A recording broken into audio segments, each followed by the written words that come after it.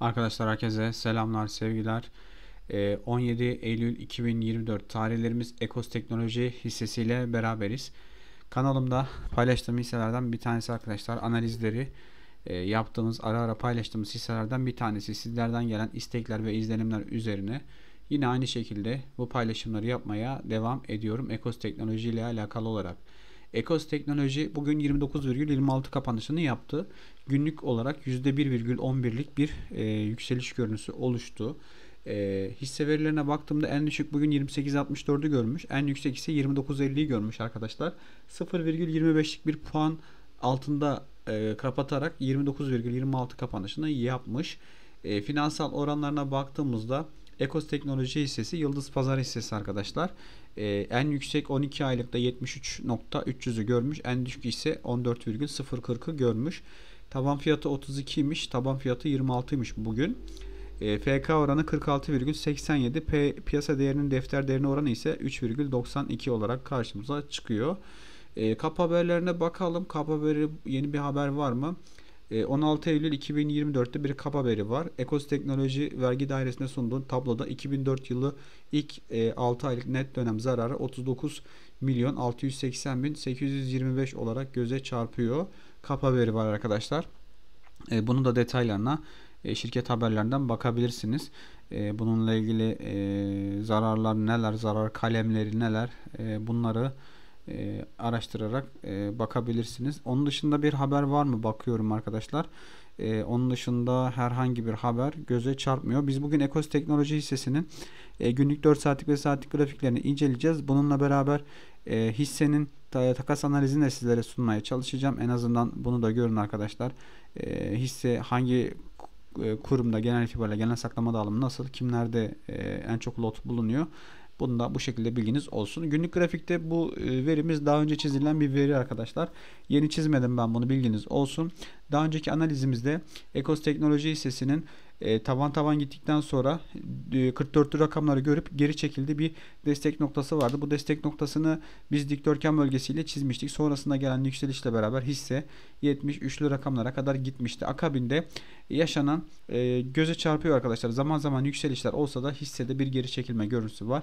E, beyaz çizgiyle çizdiğim kesik çizgi düşen trend çizgisi ve hisse e, bu grafiği saatliği aldığımda daha detaylı bir görüntü çıkacak. Düşen trend çizgisi üzerinde kapanışlar yapmaya devam etmiş arkadaşlar ve e, dikdörtgen bölgesinin içine de girmiş. Burada karar verecek arkadaşlar artık. Aşağı mı devam edeyim yoksa e, düşen trendi kırayım yukarı mı bir hareket yapayım? Bunu e, göreceğiz arkadaşlar Ekos teknoloji ile alakalı olarak hareketini. E, sat sinyalimiz var indikatörde. Bakın burada negatif e, olarak bir sat sinyali var söz konusu. E, RSI'ye bakalım. RSI hangi seviyelerde? RSI diplerden e, 32'lerden bir yukarı doğru hareket yapıyor. Bakın burada bir yükseliş görüntüsü e, sunuyor günlük grafikte. Bir de basit hareketli ortalamalarımıza bakalım. Basit hareketli ortalamalar hangi seviyede? Öncelikle e, kısa vadeli kullandım. 20 günlüğe bakalım arkadaşlar. Sizler de e, kendi yatırım vadenize göre basit hareketli ortalamaları değiştirebilirsiniz. Ben genel geçer kullanılan hareketli ortalamaları kullanıyorum. E, EMA'da kullanılabilir arkadaşlar. Yüksel hareketli ortalama. Ben basit hareketli ortalamayı kullanıyorum. E, dikkat ediyorsanız kısa vadeli basit hareketli ortalama düşen trend çizgisiyle eşdeğer hareket ediyor ve şu an itibariyle 30,86 rakamlarında gözümüze çarpıyor. Kısa vadeli 50 e, günlüğe baktığımızda 50 günlüğümüz arkadaşlar 33 rakamlarında yine bu da hisse fiyatının üstünde bir görüntü bizlere sunuyor. Uzun vadeli 200 günlüğe bakalım nerelerde 200 günlük arkadaşlar 200 günlük ise 42 rakamlarında e, karşımıza çıkıyor. Kapatalım.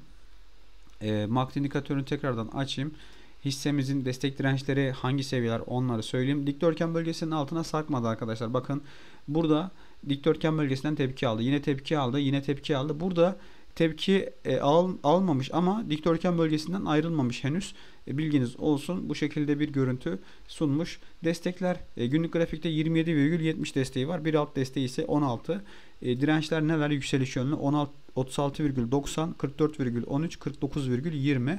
Ekos Teknoloji hissesinin günlükteki e, dirençleri ve destekleri Fibonacci destek direnç seviyeleri 4 saatliği aldığımda bakın burada bir alt sinyali var yukarı yönlü olarak 30.56 direncimiz 32,81, 34,39, 35,97, 37,92 bunlar sıralı Fibonacci dirençler olurken Desteklerimiz neler arkadaşlar? Aşağı yönlü. Şöyle baktığımızda destekler 27,70, 24,06, 22,16 ve 19,43 bunlar da bizim e, aşağı yönlü Fibonacci destek seviyelerimiz. Grafik saatliği aldığımda şöyle bakalım saatlikte e, yukarı yönlü bir alım sinyali görüntüsü var ve bu alım sinyali devam ediyor. E, dirençlerimiz neler?